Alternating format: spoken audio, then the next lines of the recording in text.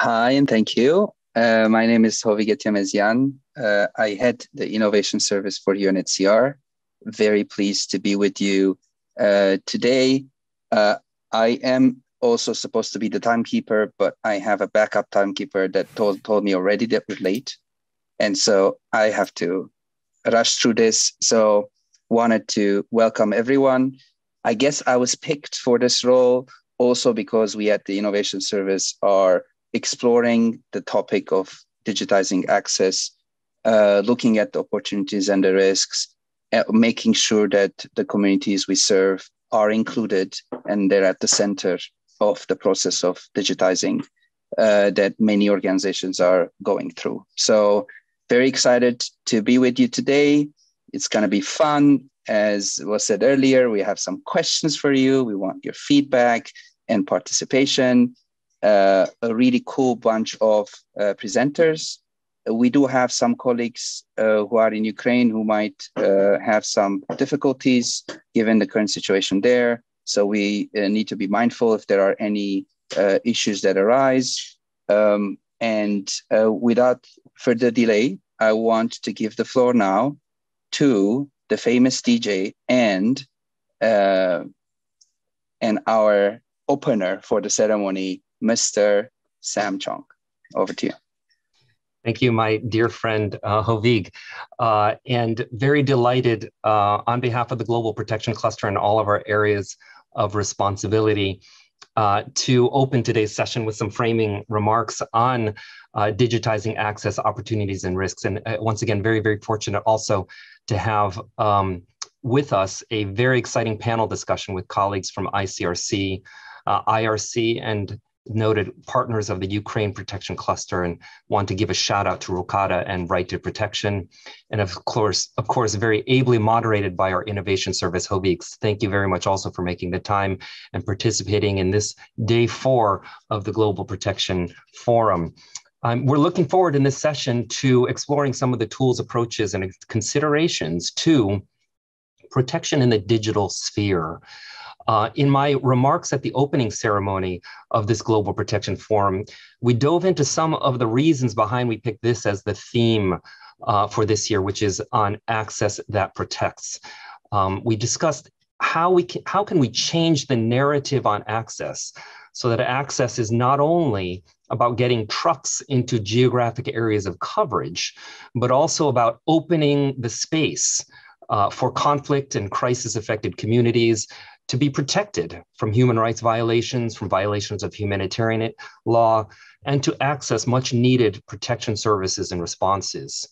And in changing this narrative on uh, access, we must also consider and apply this in the sphere of the digital domain in terms of protection and what it means in the digital sphere.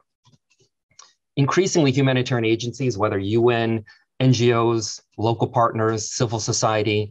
We are developing d- digital tools and remote services for conflict affected and displaced communities who we cannot meet face to face. And this obviously became much more real during the global pandemic.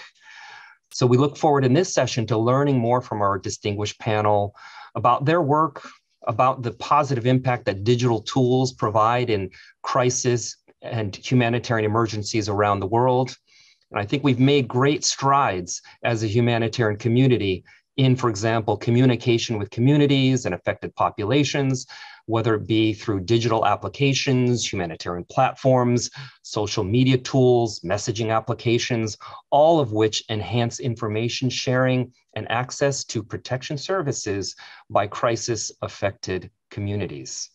At the same time, we're looking forward to cons- learning from and considering some of the risks and challenges in this type of work, which differ from those in traditional face to face humanitarian programming. And I hope we can think hard about how to maximize these for protection outcomes, both in terms of risks in the design of the platforms, but also in being ambitious in addressing protection threats and risks part of this understanding and being aware of the nature of protection risks and threats that occur in the digital sphere, whether they be causes and drivers or modalities that threaten, or even modalities that can influence duty bearers and authorities. this is a new horizon in terms of how we look at access, how we as the protection community uh, can best respond to these threats and risks through the digital sphere. Across the protection cluster and in the protection community, we need awareness of, we need familiarity and confidence in the opportunities, but also the risks posed by the digital sphere. So, what does that mean for the session today? Well, in addition to highlighting the impact of digital tools and technologies as a means of community engagement and access to or enabling access to protection services, increasing our awareness of the considerations and safeguards required around programming in this domain, I'd also like to challenge us to think what it means for access that protects. A couple of questions for consideration throughout the session today. How can the digital sphere help us rethink what it means to have access that protects? Do these means and these modalities of information and outreach, do they mean that trucks delivering aid are no longer the driving narrative?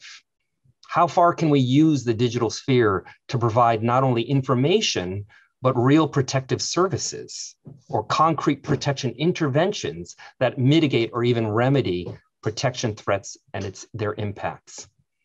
How can the digital sphere reshape, for example, protection monitoring and advocacy can it safely get us where we were previously unable to reach? Can it safely connect us with those most at risk of violations of international humanitarian or human rights law? Can it help us bring the story on the ground to the world so that we can make impacts on the protection domain? How can we use digital tools to bring protection by presence? And in this, we're talking about presence in the digital domain. Are there protection threats, risks, and effects that are best handled digitally? And finally, can we use digital tools for humanitarian negotiation and diplomacy? Are duty bearers, authorities, and others in the digital sphere, are, are there others we can think of in terms of the major stakeholders in this? Can we influence their behavior toward a better protection outcome through these digital tools? So in all our learning, first of all, I, I want to give my tremendous thanks that for first of all for those who are uh, here to share your experiences, but also, and as importantly, all those that are participating from around the world and in, this global protection forum. I challenge us all to, first of all, to be open to learn from one another, but also to look toward the horizon in terms of the opportunities as well as the risks uh, in the digital domain. But most importantly, how can we apply this? How can we use this to actually to reach and fulfill our ambitions for better protection outcomes? So with those opening remarks, Hovig, I hand back to you. Sam, thank you very much. A number of very important questions that will inspire us through the day, through the next few hours. Uh, I took note of some, and I hope that we will find answers to your questions in the in the session. Uh, without a further delay, I want to now give the floor to our first presenter from ICRC, our colleague Romain. Uh, Romain, you have 10 minutes. Uh, you will have to speak slowly because we do have live interpretation. And after the 10 minutes, we will have some questions for you. So without further delay, Romain, the floor is yours. Okay, thank you. Thank you very much. Um, I'm just trying to find, okay, thanks. I got my presentation. So um, so I try to speak as as slowly as I can. So basically, I'm working for the ICRC. I've been working for the ICRC for the past 30 years, so it's quite a long time. I'm quite an old timer within ICRC, so I'm not a digital native, as you can see, definitely not. So really, my background was really on protections and working as coordinator of protections, visits to detainees, security detainees, uh, prisoners of war in Middle East and different countries like Israel and occupied territories, also in former Yugoslavia, before embracing, uh, I would say, digital uh, digital transformation that ICRC needs. So we are really ICRC really face to face, I would say, organization working on the ground and uh, protecting, trying to protect as much as we can. I mean, affected communities. but also providing specific services. So what we try to, what we're trying to do now is to build a new digital humanitarian platform. And I will speak about the why, the what, and the security challenges related to what we call RedSafe, digital humanitarian platform of the ICRC I'm responsible of, which is really in a pilot phase right now. So uh, uh, maybe speaking about the why, um, we saw that people are increasingly connected in the field. We saw that figures in some refugees resettlement in Africa, close to nearly close to 90% of people have access to a phone. And this is quite an old uh, data that we have. At the same time, there are also new commercial actors appearing in humanitarian spaces and providing uh, also services, digital services. We saw the Google Person Finder following, I mean, Haiti earthquake, but also in other, you know, in other contexts. And at the same times, we saw, for example, Facebook launching is a Facebook safety uh, safety uh, uh, space where people can inform, I would say, friends if they are alive following natural disasters, and other organizations like Refugee United. With these new actors, I mean, brings opportunities, but at the same time, risk. I mean, for the people because we know that the data that people are going to provide using these new services can be a, can be a search for and people can be tracked and this, this data can be used for other purposes than humanitarian ones. Uh, so um, when ICRC tried to see what kind of responses it has to make to digital transformation, what does it mean, digital transformation and providing digital services? One key value for the organization was really to work as a trusted manager of sensitive information in what is really ICRC mandate. So conflict related and also other situations of violence, including migrations. So really working on digital proximity and trust as much as we can and also having product with high standards of data protection and data, data security at the same time. So that was the basis, I would say the baseline for a project. So when I speak about RedSafe, which is a new digital human platform, which is right now in a pilot uh, phase, is really what we're trying to achieve, to build, is really a platform for people affected by conflict and other humanitarian crises. So very ambitious in terms of um, in terms of means and scope, providing safe and secure services to the people in need, which is managed by ICRC. And this is important. It's open to partners. It's open to other organizations, humanitarian organizations. So the idea is really to have this platform to explore new services. For example, I will come into more details. We built a digital vault for people to save documents or to save their contacts, but also exploring new ways to deliver services. For example, information as aid. People can find information where to get the right uh, assistance, for example, where to get, you know, shelters, where to get, you know, protections which is not new, but it's a new way to reach people through that kind of platform and also becoming more accessible. The idea would be for that platform to be that one-stop digital shop when people need to access to ICRC services or, or partners services. So uh, basically, it has a form of an app which is available on Android and iOS, but also website in, in case people do not have, I mean, their, their phone with them, they could get access through a, uh, uh, through a computer. Uh, basically, these are the services that we have produced right now. The first one is quite simple. is information as it is called articles. Articles about what are the humanitarian services you can access to in a certain context. Uh, for example, you will find, I mean, uh, basic uh, articles about what to find shelters, where to get legal advice, where to get health services in the countries. So this is an article that you can download uh, of organizations which have been vetted by the ICRC, which are providing trusted and reliable services. We can send alerts you know, you get all alerts you need to, to have that are pushed by the ICRC. It could be about natural disaster, but it could be also about the new services you get access to. And the third type of information, which could be very useful for people looking for services, is a map of services. You get your geolocations. It's like a Google map, but it's not using Google services to avoid tracking of people. So all this data are hosted internally, are built within, I would say, ICRC servers. Other type of services are with a digital vault. So we built a digital vault hosted on ICRC servers where people could save any document they need. It could be the ID, it could be property rights, it could be a medical certificate that they need to have. It's simple. It's a simple, uh, I would say, pictures, and they get it uh, saved on the digital vault. They can retrieve wherever they, they want. They can have it access in offline mode, and they can also save the contacts. They can decide which contacts are important and they want to save in RedSafe, the same application. The last uh, services we are developing that is not available right now, but that will be available by the end of, um, of this year will be messages, very simple messages.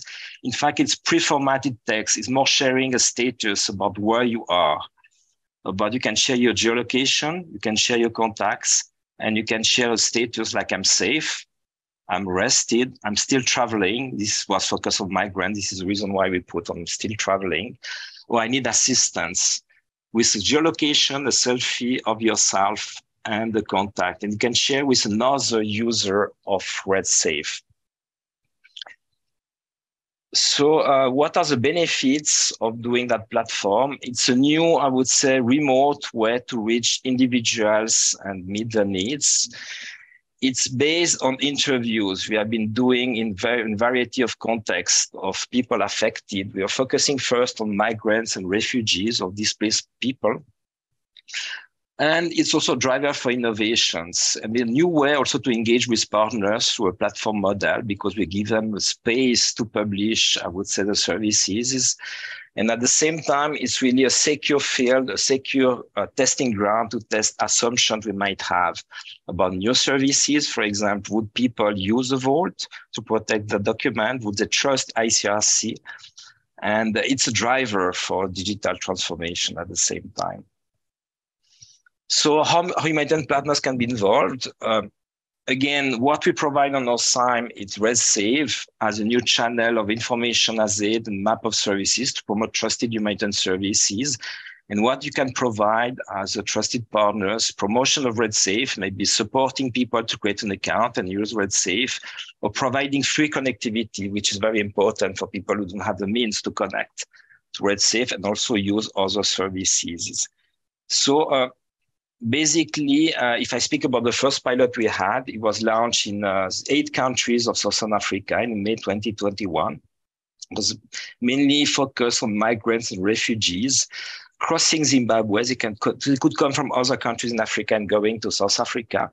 We have many more users than expecting, close to uh, 19,000 after 17 months. And more than 28 organizations were accepted to publish the services in RedSafe. So that was considered as a successful pilot. Promotion, we use different means. It could be posters, digital marketing, ads on Google and Facebook, because we are really dependent still on these means. I mean, people need to find the services, and for that you need to to you need to um, to publicize them. Having also uh, events organized and and also trying to convince also community leaders having the input on the services for them to promote also RedSafe and to get also uh, and to get the feedback on what needs to be improved. So what's planned for three minutes? Three minutes. 2023. I'm still on time. Thanks. So uh, the idea will be to, to start building a secure two-way channel communication between affected population and ICRC delegation. What I've been presenting is message between users and not messages to, I would say, humanitarian organizations.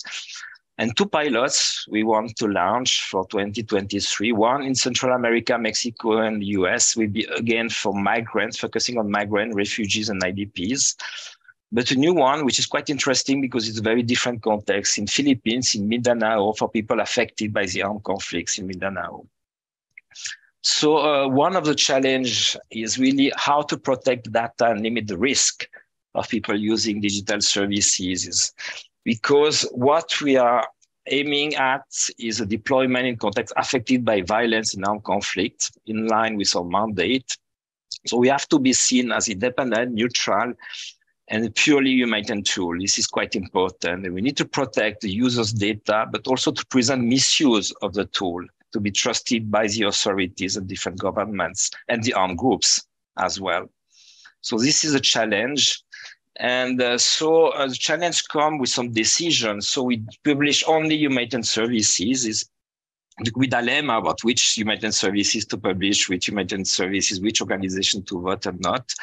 And it has to be privacy and security by design. But privacy and security by design is basically you need to make risk assessment for each new phase of development. So data protection impact assessment, which is about the privacy, security risk assessment, which is more technical security of the tool, and the legal risk assessment in order to prevent, uh, for example, legal risk of law enforcement agency getting access to the data of people you need to protect. So there are also specific field and legal risk assessment before new deployment.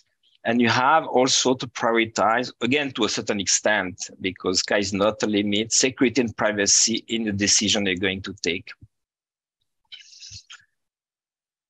Finally, if I want to be uh, more concrete about the measures that we needed to take in order to protect the data and limit the risk, information has to be verified by ICRC and by partners before publishing because you don't want, we want to that people have access only to trusted and reliable information about the services they need. Content would be monitored by the ICRC, at least to a certain extent, of the messages that they send. And the messages are restricted to pre-formatted text, such I'm, face, I'm safe, because we want really to avoid people using a free content and having a misuse of the app all the data are stored on ICRC servers in Geneva. So it's not, we are not using any commercial cloud, including for the data related to the maps. In fact, to benefit from ICRC legal protection, but also for the personal data to be accessible only by ICRC staff is quite important.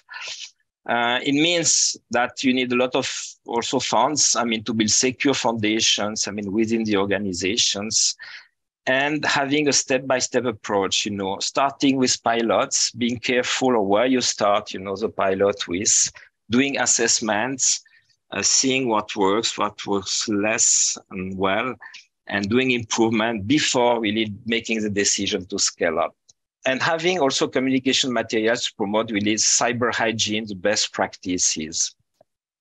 So this is basically uh, where we stand right now.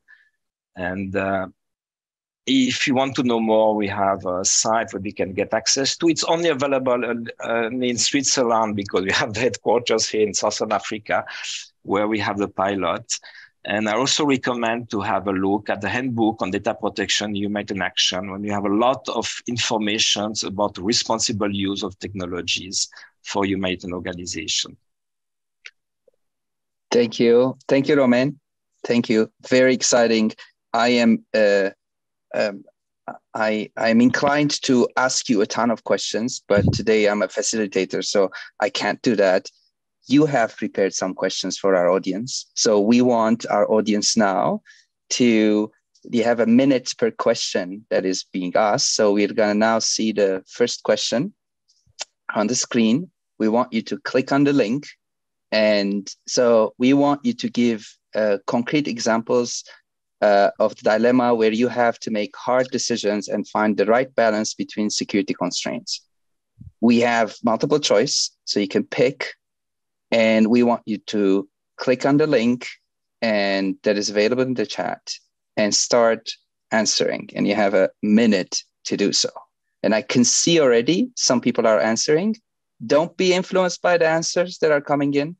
Pick your own, use your free minds to do so uh, you have now 45 seconds left, and we still have only a few of you, and we have over 200 participants. So I'm expecting a spike. Look at that. People are answering the questions.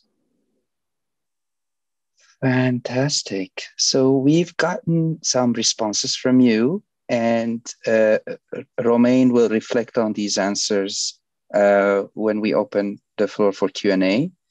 So we have a second question for you. So maybe we can go to the second question now.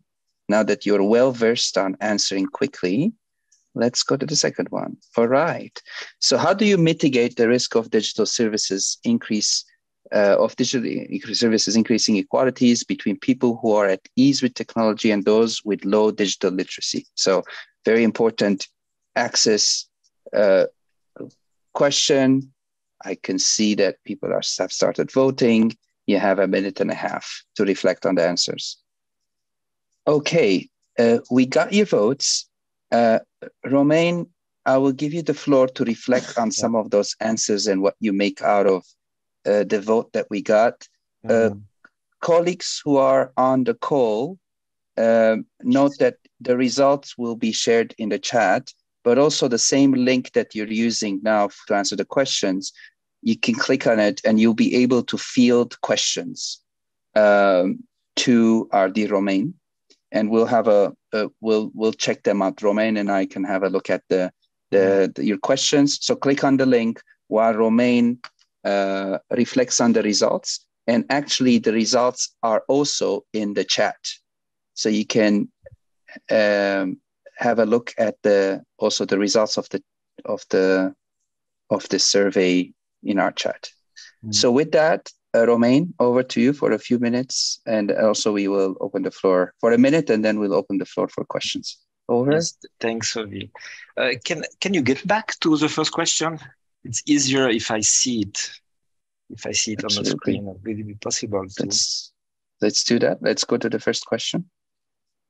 With the result of Okay, that's great. No, that's really uh, that's really interesting exercise.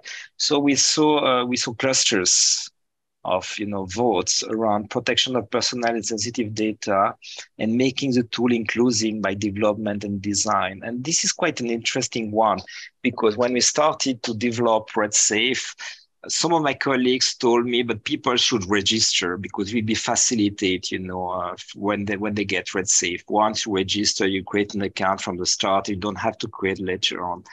But we decided not to do so because if we asking the people to register first, they would give quite a lot of personal information that we maybe we don't need to have. I mean, in order to provide the services, and and registering itself is a complicated act. It's not so simple because you have to create an account. You need, we might need to have a two-factor authentication and so on. So we decided that to access information as a to access the map of services and to access to alerts you don't need to register. You just get, you know, uh, you download RedSafe, you get access without providing any information, I mean, to ICRC or to anybody else. Now, the second stage was a bit the tension also between the protection of personal and sensitive data and the inclusion.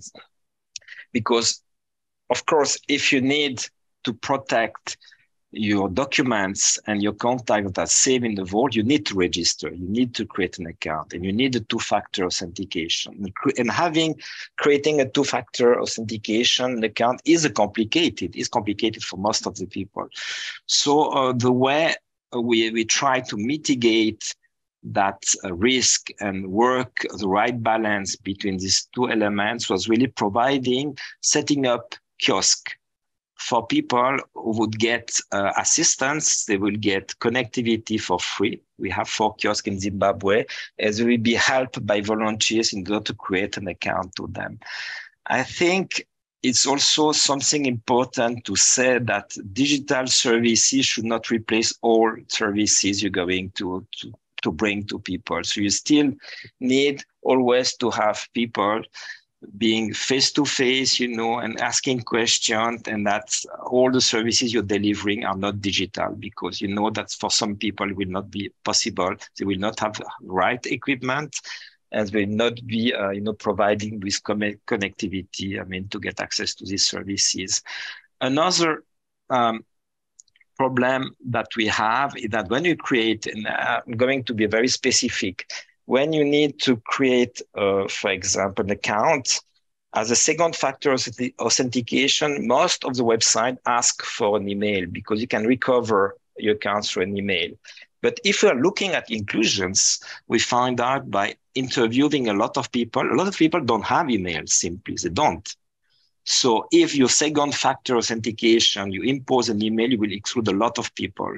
So we decided to let them the choice between the telephone numbers in order to get an SMS as a second factor of authentication or getting an email. And that's a way, I mean, I mean, you base your uh, decisions on interviews, on trying to be inclusive, but at the same time trying to find the right balance between the need to protect the data for which you need, for example, two-factor authentication to create an account, and at the same time, for the fact, second factor of authentication to take into account what people really use and having these interviews and having this feedback from the field. Thank you, Romain. Can you reflect uh, for 20 seconds on the second question? Uh, we have some questions that arise, so I'm going to pick one and ask yeah. them to you, uh, and then we need to really move to the our next presenter. Yeah, sure. So, go ahead, Romain. So um, this is quite similar, I mean, to the first reflection I have. I think it was very important from day one, not only to, I would say, to promote a digital tool based on interview, but really to provide the face-to-face support to the people. So for example, in Zimbabwe, we decided to have, again, kiosk manned by volunteers of uh, Zimbabwean Red Crescent in order to, you know, to, to assist people uh, were not at ease with technology. They could help them to scan the document and to import it into, into RedSafe as a whole. So basically, this is the way you need to go if you want, I mean, to, to provide also not only technology for the savvy ones, but also the, with the one with low digital literacy. And, um, and not to believe that everybody is able, I mean, to use this technology because you are really surprised by, uh, by the elements and the finding that we had. Thank you, Romain. And I'm taking one question from the floor. Uh, we only have six questions, so six of you actually inputted the questions. I expect in, in the next round we get more uh, to ask those questions online. Uh, we got one question uh, saying, how did uh, ICRC develop these tools considering levels of literacy uh, and or people with disabilities? A quick answer, and then we go to our next presenter. Over to you, Romain before we decided to develop because we wanted to avoid having a top-down decision you know. We, this is what we think the people need and we're going to develop that. So it took a year of interviews you know of uh, meeting communities of different variety of communities. We went to we went to colombia we went to kenya we went to a lot of different places before you know deciding this is, we think, I mean, the way, um, uh, and we were a bit co-designing, I mean, certain functionality with the people. So we didn't have an app at that time, but we we're asking people, how do you, what kind of uh, terms would they use, for example, to even, I mean, simple term like download it, does it make sense for people? Digital vault, does people understand what it means? Trying to find the simple terms that people understand it based on this field interview. So it takes a lot of time before you decide to develop it and then you test it and then you see how people react to it and then you have to improve it. So uh, so you, you not do um, the right thing uh, at the first decision. You need iterations going back and back and improve things. Thank you romain. Uh, user-centric being essential to our work. Putting our the people we serve at the center of our work is important Thank you for your time today, Romain. I will book you for a herbal tea when time permits. A lot to discuss. And with that, we go to our next presenter, our colleague Jane from IRC. Over to you. You have 10 minutes. Speak slowly, and then we will have 10 minutes for uh, other sets of questions and Q&A. Over to you, Jane.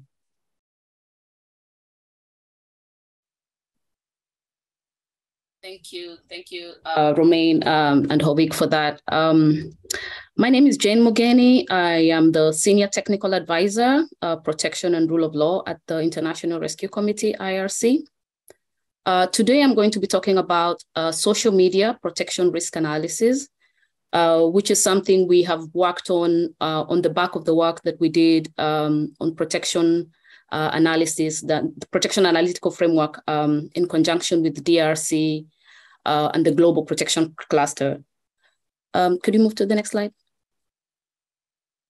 So why does it matter to do a social media uh, protection risk analysis?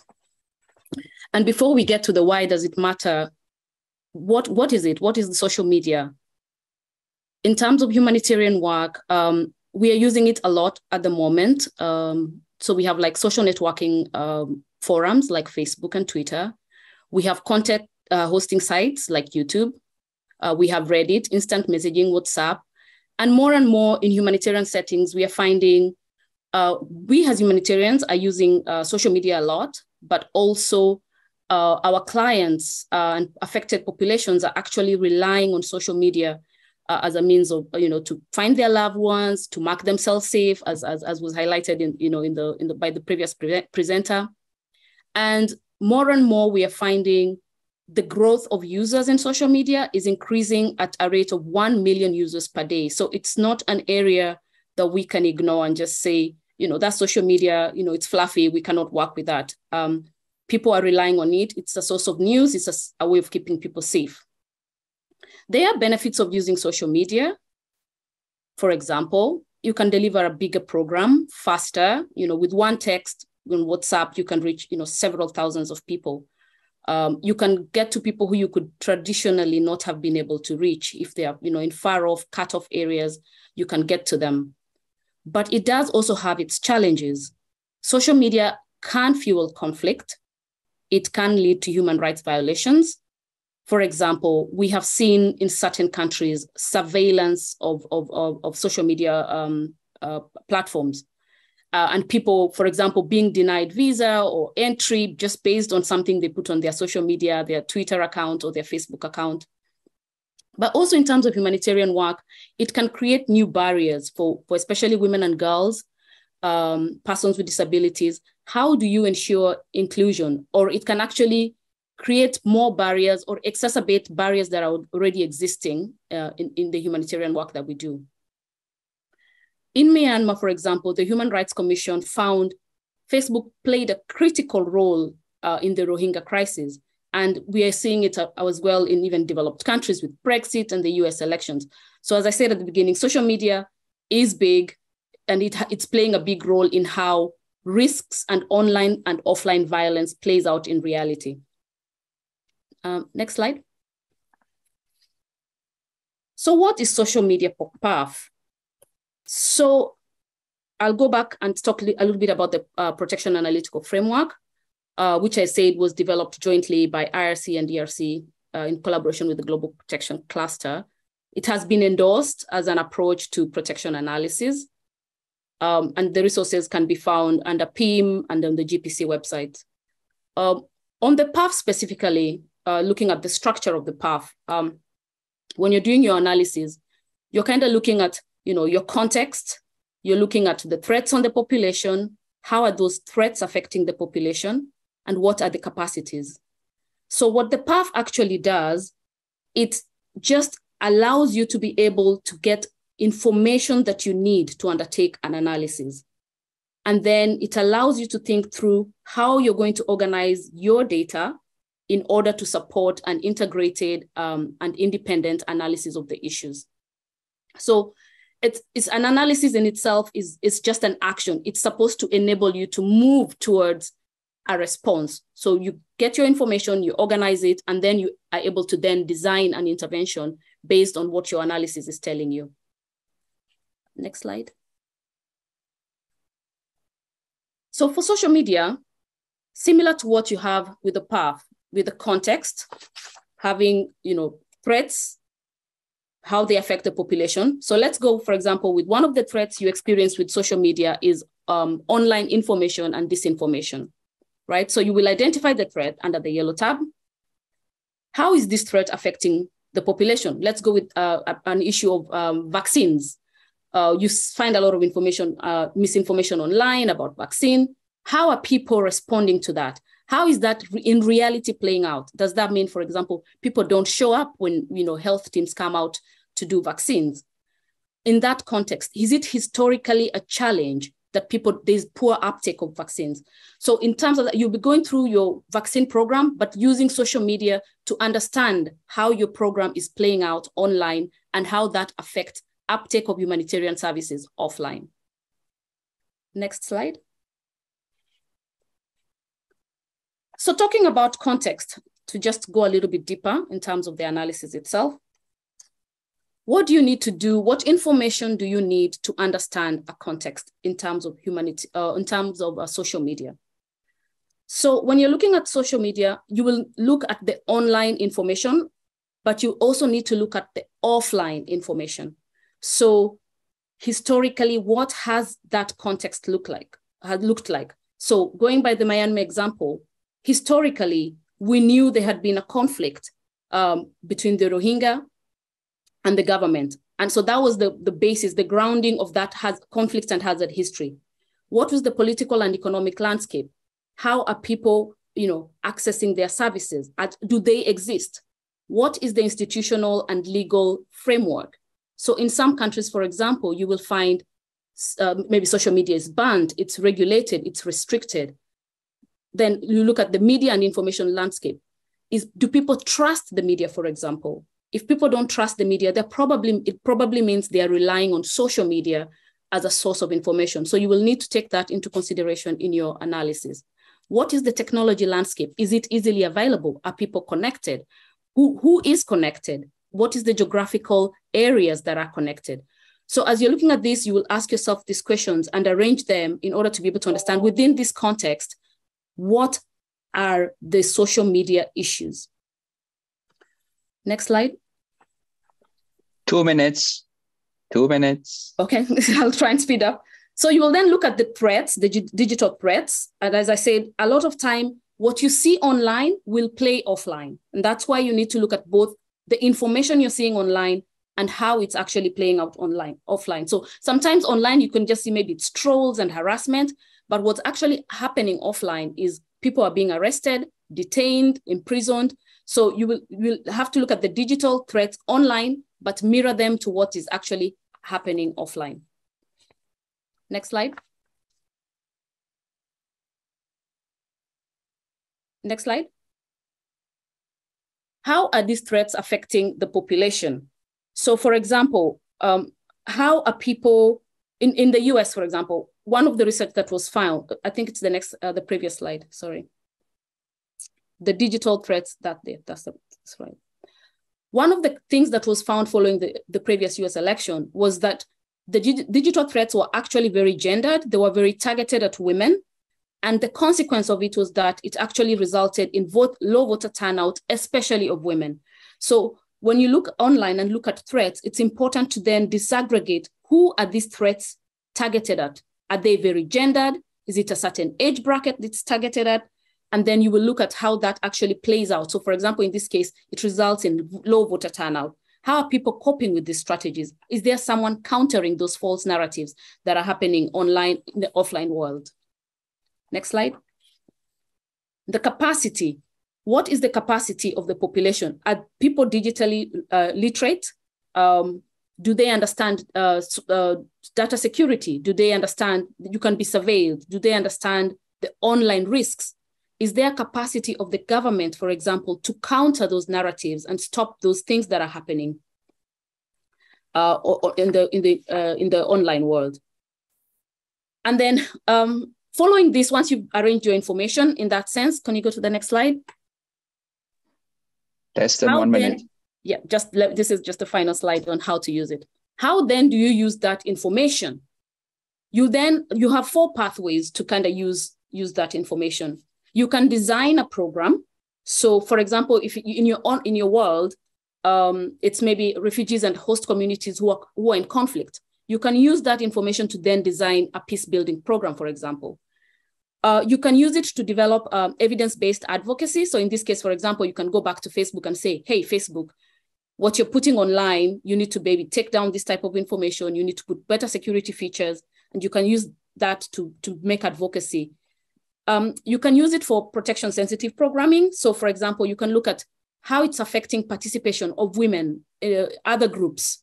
How can you ensure inclusion? How can you ensure safety? How can you make sure, make sure your program, if you're using social media, is more safe?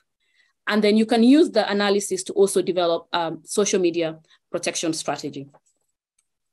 Um, the resources are available. I think go to the next slide. Um, we have the resources available, as I said, on the PIM website, uh, PIM website, as well as on the GPC.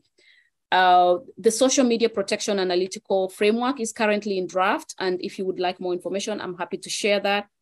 But yeah, I would now uh, pause there and open for any questions. Thank you. Jane, thank you very much. You have shared with us uh, a few questions. Now that the crowd is well versed in answering the questions online, let's go to the first question. And this time you will really have 45 seconds to answer, and then we will go to the second. Jane, please take note of the answers as we end, because I'll ask you to reflect on the answers that we've got. Um, when should I consider doing a social media protection analysis? You have two options. If you can think of any others, uh, please use the link eventually to, to put them in um, the Q&A. Um, you have 45 seconds to answer this question. All right, let's go to as people have voted, let's close this vote. We got a nuanced answer already from the crowd. Mm-hmm. Uh, I'll ask Jane to reflect on what that means for her. Next, go to, let's go to the next one. What types, what types of program interventions can be designed following a social uh, media protection analysis? Now you have three options. All right, we still have a split vote across the three options. This is more for Jane to reflect on. Fantastic. Presents Jane with a dilemma that she needs to answer to. Um, all right, I think people are voting. It's great.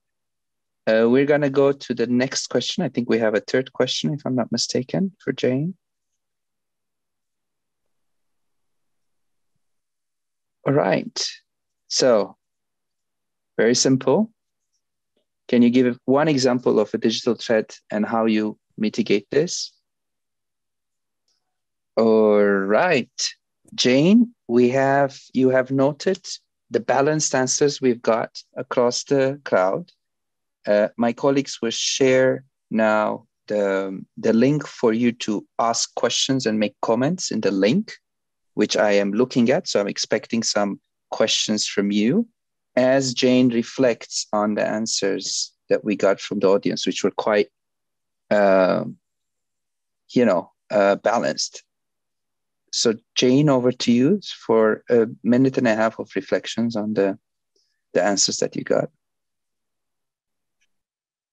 Thank you. Um, so, when should you consider to do a, uh, an, a social media protection analysis? Really, the answer to this is kind of if you're just going to use social media at any point for anything, you should consider doing a, social media uh, protection risk analysis. That is because, you know, as humanitarians, uh, we're now beginning to understand there can be serious risks and threats that uh, the, that affected populations face as a result of social media. So it is important. I think um, uh, the previous speaker spoke about conducting data impact assessments. It is important that when you're using any kind of technology, that you're able to really assess what risks uh, that technology can present and, and try and mitigate that risk uh, before using that technology. Uh, what types of program interventions can be designed? I think really uh, it it can be any type of program depending on what your analysis tells you. It, it really comes down to your analysis. So if your analysis tells you you need to do a peace building program, there's an opportunity to do that, then you can do that. If your analysis is telling you there's a lot of misinformation and disinformation, which can then be addressed by, for example, countering those false narratives, you can run a program that counters false narratives.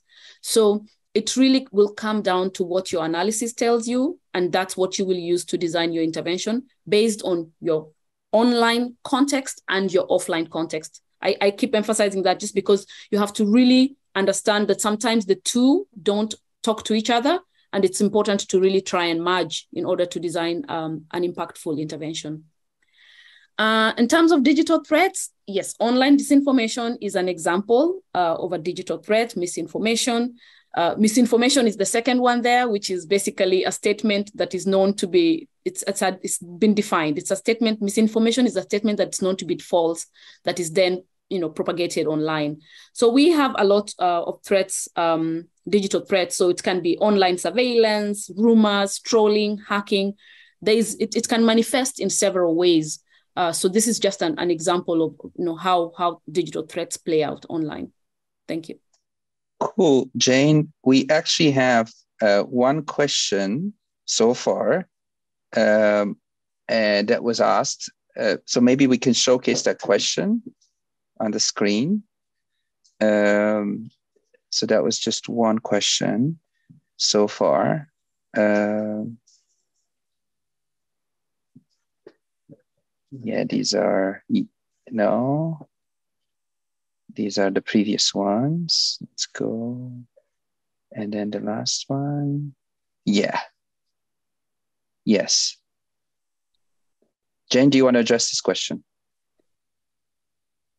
Is there a set of questions to identify digital risks? Yes, there is a set of questions. So within uh, the PAF that we have developed, the social media PAF, we do have a list of questions. So when you go to context, it will it will tell you, okay, these are the things you need to look at in a context. And then within that, it will give you an example of questions that you need to ask in order to, to elicit an, a response for that. So when you the same when you go to threats, when you go to uh, context, uh, the threats, how communities are, are, are responding, uh, we will give you suggestions as well as a list of questions on how to um, try and get a response in the context that you're working. And yes, it can be made available. As I mentioned, we're still in draft. Um, but uh, we're happy for people to use this and uh, give us feedback um, in order for us to, you know, tailor it, fine tune, and uh, make it accessible and usable. Jen, Jane, I want to thank you for your time with us. We are running a bit late, so I will have to thank you on behalf of everyone. And we go to our next group of friends from Ukraine who are gonna uh, be the next presenters. So over to you. Hello, dear colleagues.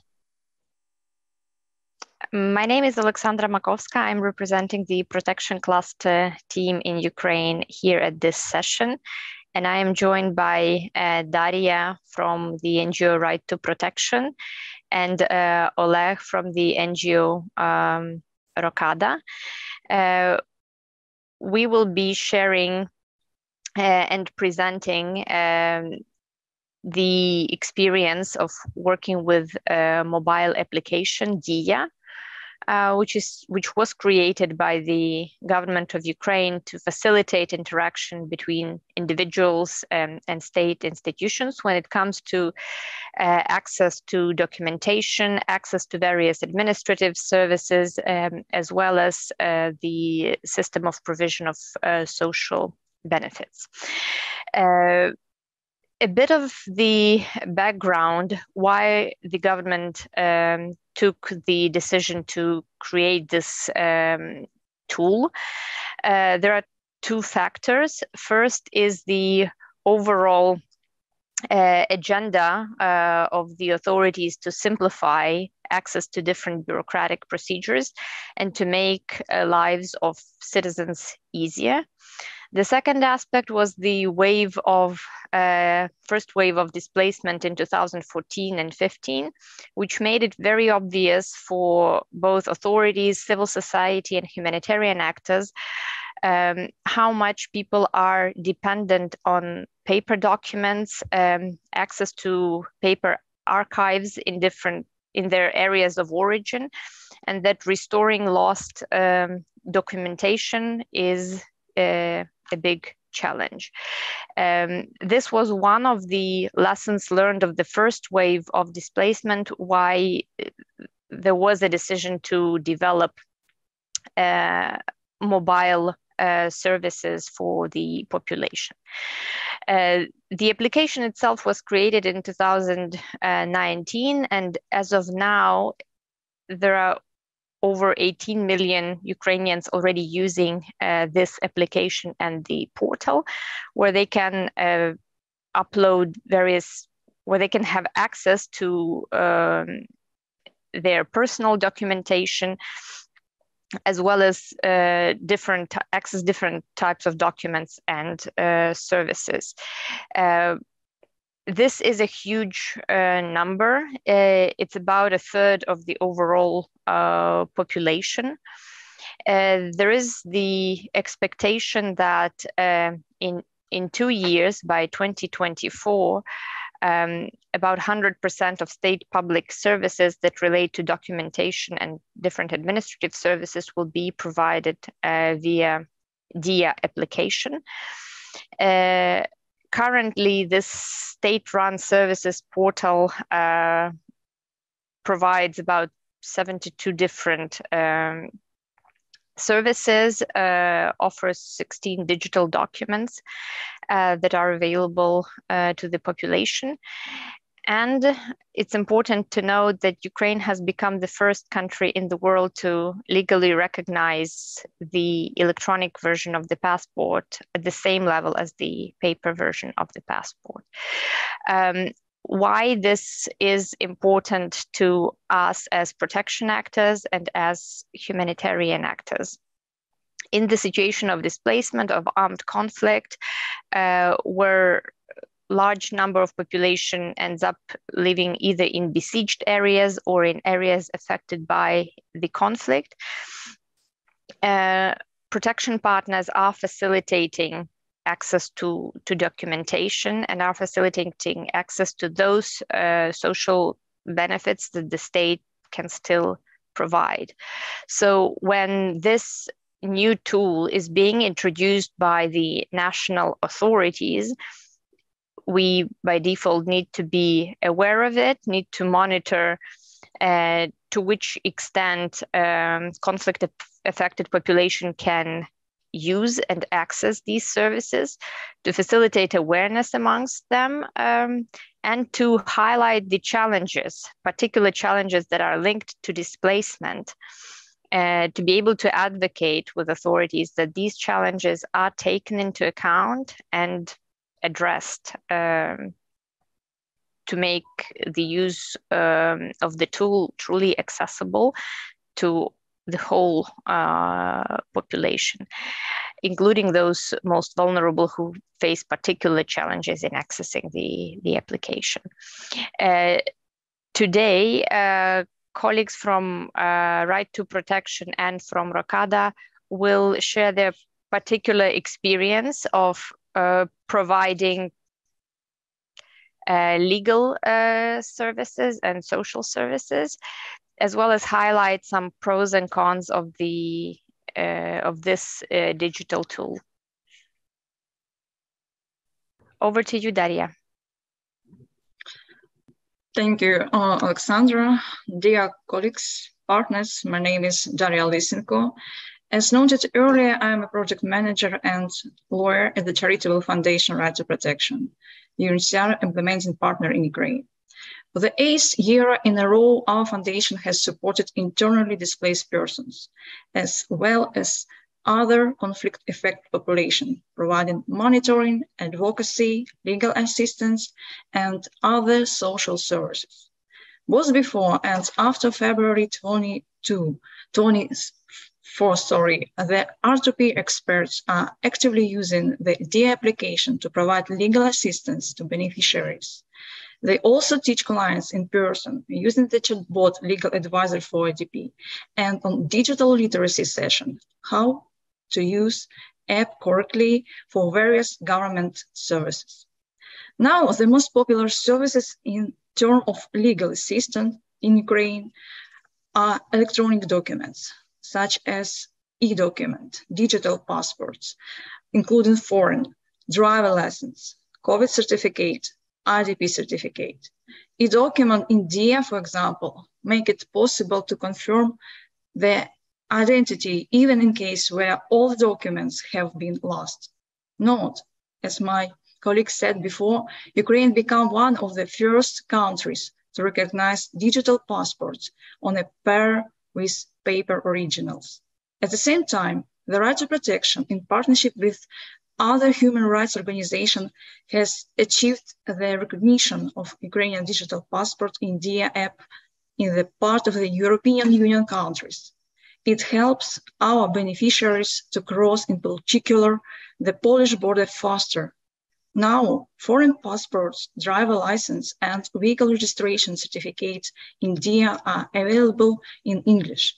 As a result of such joint efforts of decision makers and civil society Ukrainians who were forced to flee because of a full-scale Russian invasion are enabled to access documents and services and exercise their rights abroad unimpededly. The right to protection, legal experts also actively help IDPs to use the comprehensive service of IDP registration and receiving financial assistance. You can register as IDP and get a certificate in any convenient place just with internet access. Our work is also underway to document the destruction of housing and obtain the status of unemployed clients with the help of Diia. This is one important service that should help create a register of destroyed housing and further ensure that victims receive compensation. Finally, providing legal assistance, we actively use it and teach how to use the eMalyatko service on the Diia portal.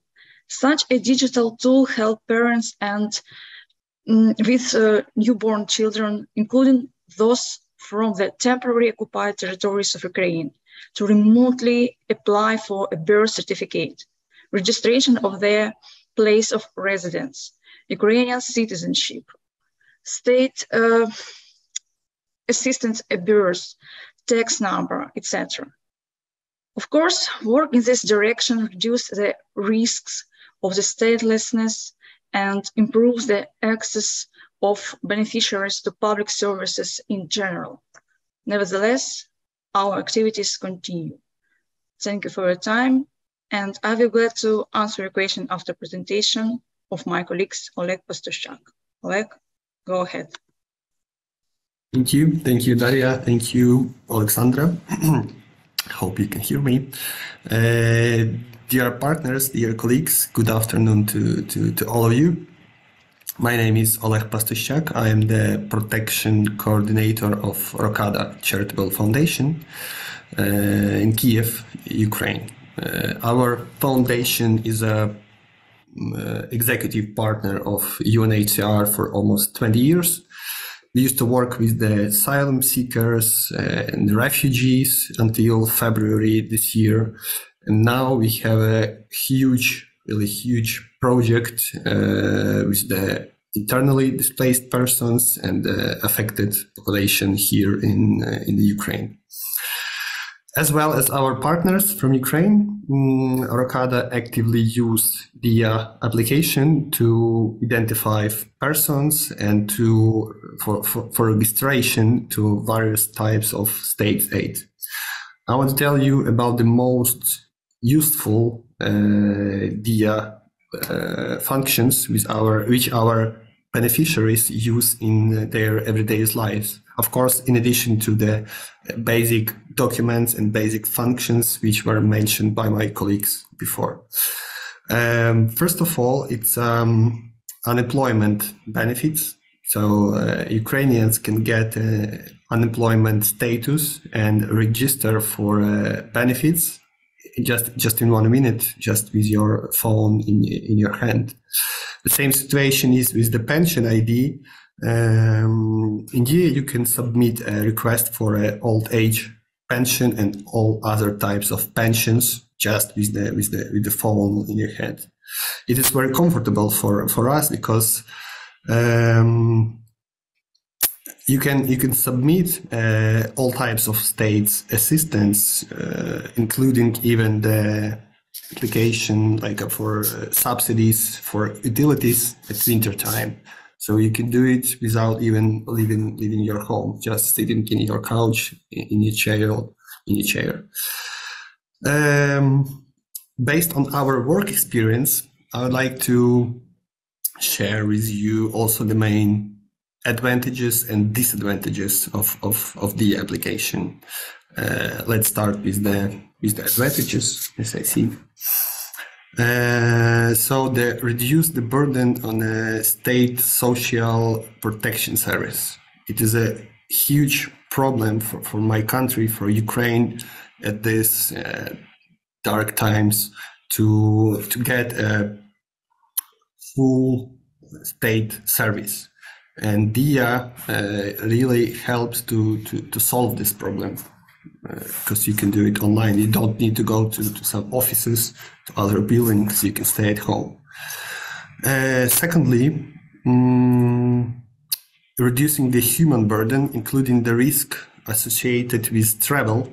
As I mentioned before, uh, Ukrainians can get a, as I, me and my colleagues uh, mentioned before, Ukrainians can get thousands of uh, services without leaving their home. It is important because on days when leaving your home, your home is uh, can be danger for your life uh, or for your health.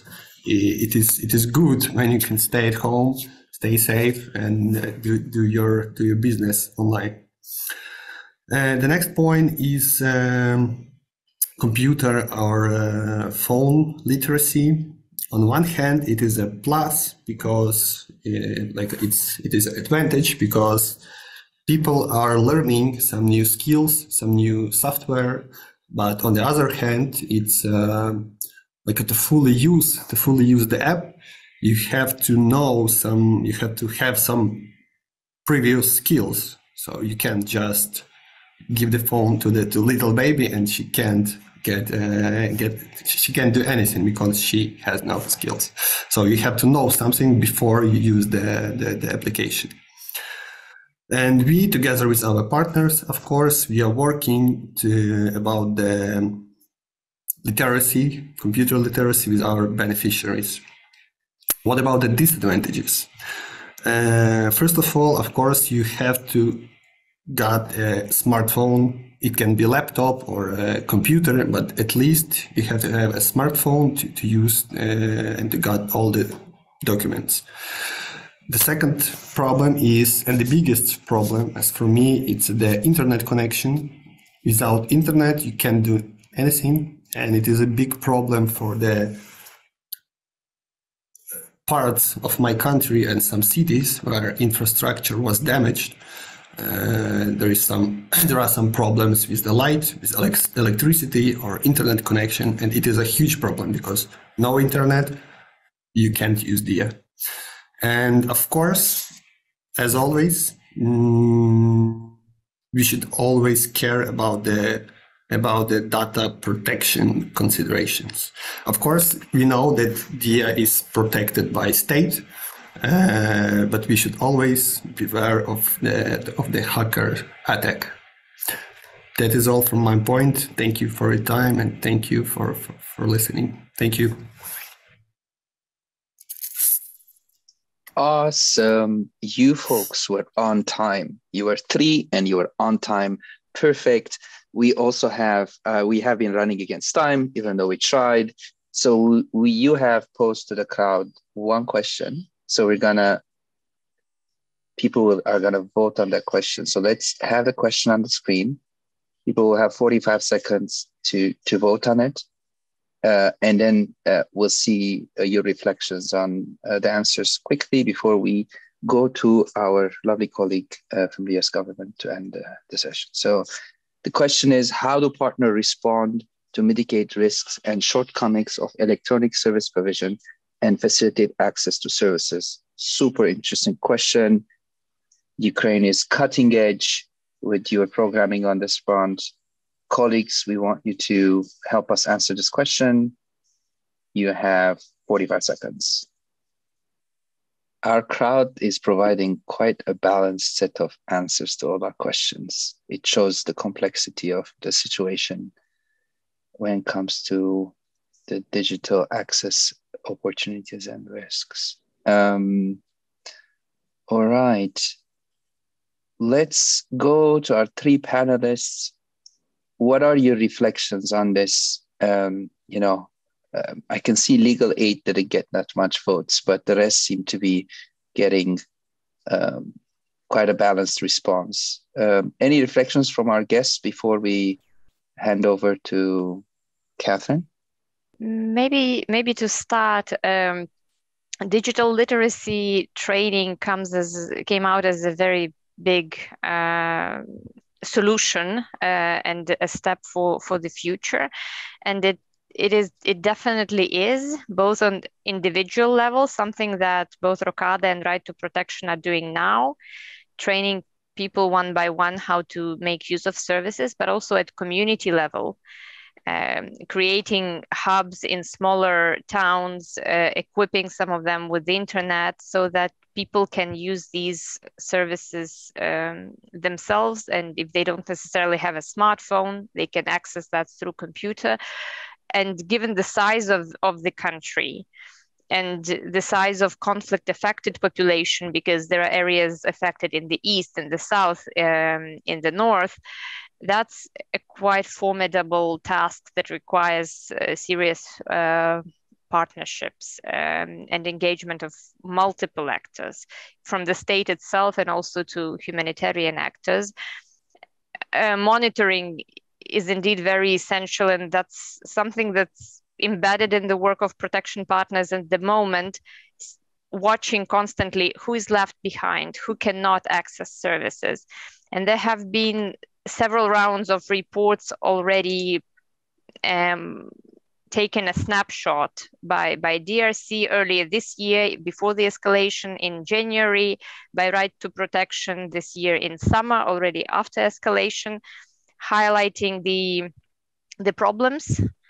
And right to protection was able to feed into the development of, of solutions because they were take their feedback was taken into account during the development of the updated beta version that is being tested now where idps can change their residence um, registration which is very important in the current context um, development of new digital solutions um, I would give the floor here to colleagues. Uh, we would struggle with this one precisely because this particular app is managed by the state. Um, and so for for us as humanitarian actors we can only advise um, of certain shortcomings we can propose solutions but uh, but to develop an alternative to this uh, would be would be quite a challenging task, especially if we speak about services that are to be provided by by the government. Thank you. Uh, for the interest of time, I think colleagues have your contacts. Uh, they will be in touch. Uh, super exciting. It will be interesting also to explore how systems um, are user centric and how the client's feedback on the use of services is taken into consideration as systems evolve and develop. So super cool. Thank you very much. You were on time. Uh, I would love to stay for hours with you, but we don't. We actually have five minutes left. And with that, I want to thank the crowd and give the floor to our dear colleague Catherine from PRM for her uh, closing uh, remarks. And she will be the one who will bid you also farewell till next time. So, Catherine, the floor is yours. Thank you, Hovig, and thank you to all of the fantastic speakers today. Um, I just wanted to start by saying the US Department of State's Bureau of Population, Refugees, and Migration fully supports the safe expansion and adoption of new digital tools and technologies to further protection outcomes, while also mitigating many of the potential risks of digital access that were mentioned today. We proudly fund several of the organizations we heard from today, including UNHCR and ICRC, in their work on digital access and protection. And we're really enthusiastic about all of the work presented and shared today by IRC, by Rokada, the Right to Protection, and the Ukraine Protection Cluster as a whole. So, the panelists today, and from feedback from all of you, we saw a number of different ways uh, highlighted where digital technologies can improve protection for conflict affected populations. But we also saw some of the associated risks. So we heard how cell phones and social media can enable families to keep in touch when they're separated. We know that this can make family reunifications easier than ever before. We also know that humanitarian implementers can leverage these technologies to more easily communicate with affected populations, making community participation and two way feedback faster and more effective. It was great to hear from ICRC on their RedSafe digital humanitarian platform and hear examples of how humanitarians are using digital technology to safely share information with affected communities. And we know that other organizations are also increasingly using messaging technologies like WhatsApp as feedback and communication channels as well.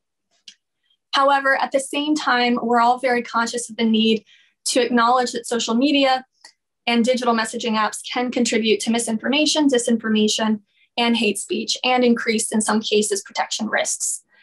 So it was great to hear today about the work that IRC and ICRC are doing to track and mitigate these threats online and to develop a framework to do so. We haven't talked as much about this today, but we also know that digital technologies can positively affect protection through the shift from paper data collection to password protected digital collection on tablets and mobile devices. We know that this can reduce risks for staff, for humanitarian staff, and reduce the risk of seizure of sensitive beneficiary data um, less likely. Paper records we know are very vulnerable to loss, theft, and misuse. So while it can reduce the risk of misuse, we also know it can introduce new risks related to password or PIN sharing, uh, especially if populations are not digitally literate. Digital access can also enable safer storage and issuance of passports and other personal documents as described by our partners of the our colleagues from the Ukraine Protection Cluster partners, which leads to improvements in migration and birth registration. It can also facilitate access to government services and safety nets, creating cost savings and bureaucratic efficiencies. But as noted, we have to make sure that governments and humanitarian organizations are mindful of data protection requirements and challenges around cell phone access and digital literacy, especially in marginalized communities. So, in closing, together we need to work as a humanitarian community to leverage the advantages of digital access for protection while also working to mitigate these risks. So thank you to our panelists for sharing information on their work today. Thank you to the organizers. And thank you to all of you, all of the participants here today for your active participation and contributions. We hope that everyone participating today can take away some new ideas for how to use digital technologies to improve protection outcomes and mitigate potential risks. With that, we'll go ahead and close the session. Please note that the Zoom room will remain open for the next session, so you can remain on the line if desired. Thank you to everyone and have a wonderful rest of the day.